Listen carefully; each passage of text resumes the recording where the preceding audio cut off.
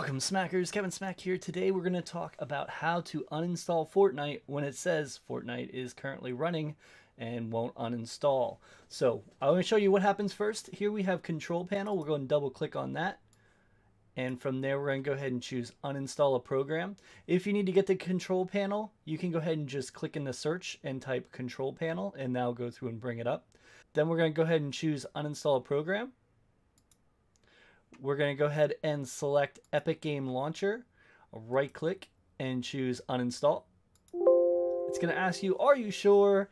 Yes, we're sure. We need to reinstall Fortnite for some reason. Either we're done with the game or we need to get it fixed. So we'll choose yes there. And we get this error message. I'm going to put it on this screen here. Basically, it says Epic Games Launcher is currently running. Please close it before continuing.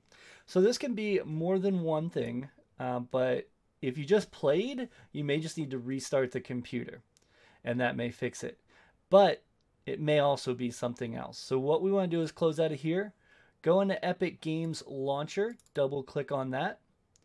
And then in here, we're going to go ahead and choose settings here.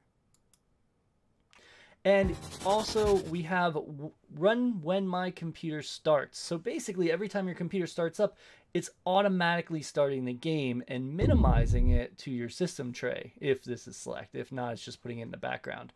So even if you reboot, it's going to keep restarting. So all you do is uncheck this so it doesn't start automatically for you and then close out of here, restart the computer, and then it will go through and uninstall for you.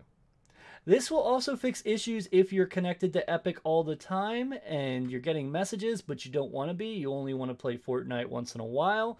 Just go ahead and uncheck that and that will take care of it for you. Guys, this is a quick fix. I'm sorry I missed it my original reinstall video, I will go ahead and link it within there so people will see in the future. If you need help reinstalling, I'll put that one up there and you can go ahead and get everything set up and reinstalled. Thank you so much. Appreciate it. And I'll see you in the next one. Smack out.